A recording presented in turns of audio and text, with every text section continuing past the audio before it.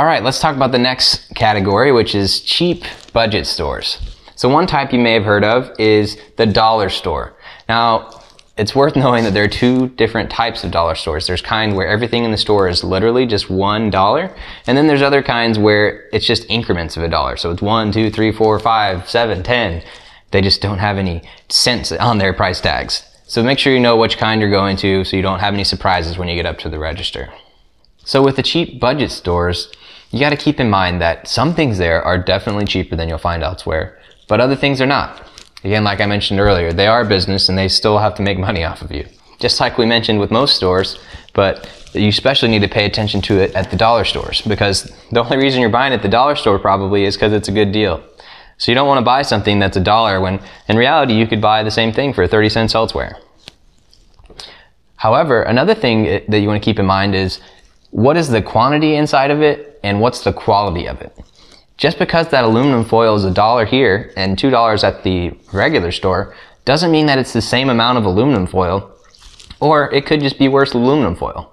And just because that chip bag looks like it's the same size, they could have just put a lot more air in there and not have as many chips. One fun fact is that the produce at these budget stores is actually pretty much on par with the regular stores. Now, I don't know if there's been widespread studies, but the University of Nevada, Las Vegas did one of the local stores there, and they found that the budget stores had similar quality produce as the regular stores did. However, the meat at these stores, if there's any, usually isn't as good, and there's definitely not as good of selection. So what do you get at these stores? Well, you can do a quick Google of what to buy at the dollar store and it'll come up with a big list of good finds.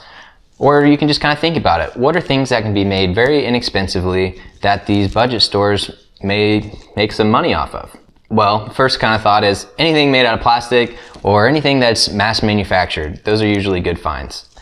So for example, greeting cards. But why buy one for $5 when you get one for one? Eyeglasses, cleaning supplies, decoration, organization things, cups, plates, party decorations. And one fun thing I found out, pregnancy tests. Why pay five to ten dollars for a pregnancy test when you could buy one for one? To wrap it up, cheap budget stores probably won't be good enough as your main staple store. They're more of a supplemental store. So just find out what's worth it, what's the good deal, and then get the rest of your stuff elsewhere.